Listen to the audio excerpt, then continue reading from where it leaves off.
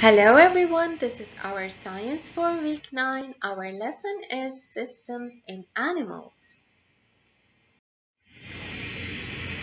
Remember at the beginning of the year, we learned about the cell lesson. We said that a group of cells make up a tissue. A group of tissues make up an organ. A group of organs make up an organ system. Thus, a group of organ systems make up the organism. So our lesson is about different systems inside an organism, specifically inside animals. So a system is a group of organs that work together.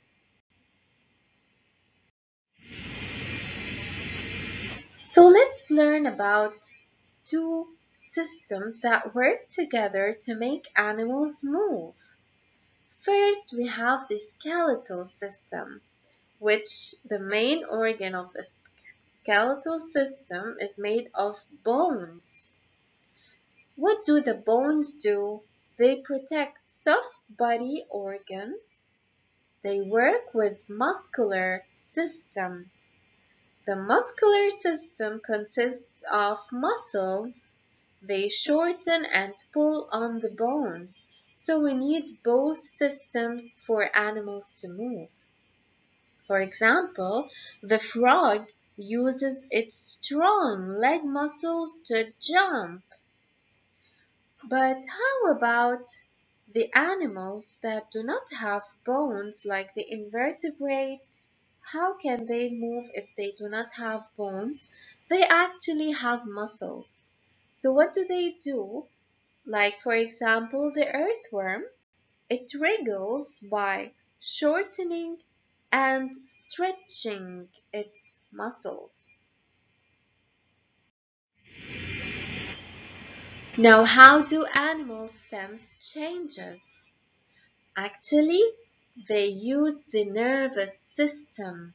The nervous system is the controlling system inside the animals. So it controls all organ systems.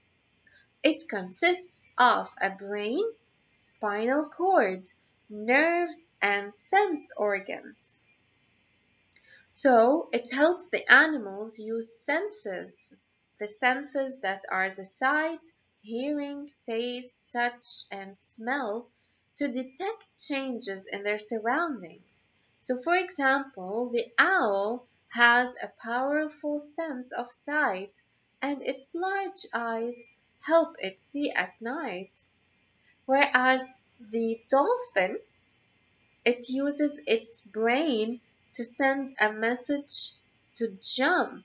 So the nervous system starts with the brain. The brain sends a message this message travels through its nerves to its muscles and then it jumps. So now let's learn how do the air and blood travel in the body. The respiratory system is actually responsible for traveling the air in the body of the animals. So we know that animals take in oxygen and breathe out carbon dioxide. So the respiratory system actually brings oxygen to the blood and removes wastes, which is the carbon dioxide, from the blood.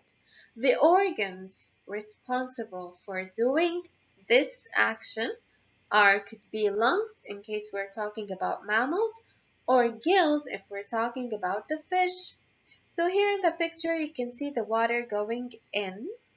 The gills take, breathe in the oxygen and breathe out the carbon dioxide. Let's learn about the system that allows the blood to travel in the body. The circulatory system. The circulatory system moves blood through the body. What does this blood carry? It carries the oxygen, food, and water to the body's cells. It also carries the wastes to the excretory system, which we are going to learn about next. So the organs, the main organs that are in the circulatory system are the heart, blood, and blood vessels. So we said that the circulatory system actually allows the blood to travel inside the body. And we said that blood carries with it wastes to the excretory system. So the excretory system is responsible for removing the wastes.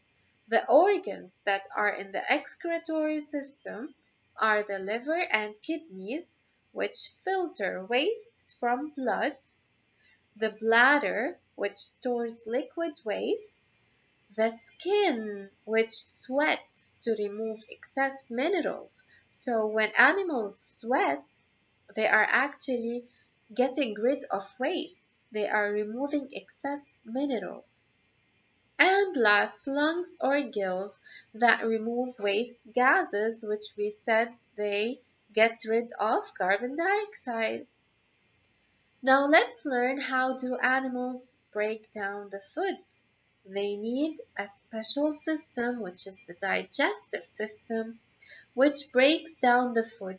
Why does it break it down? So that the animal would have energy to release its nutrients. The organ that is responsible for breaking down the food or actually churning and mixing the food is the stomach, which is right here. Thank you.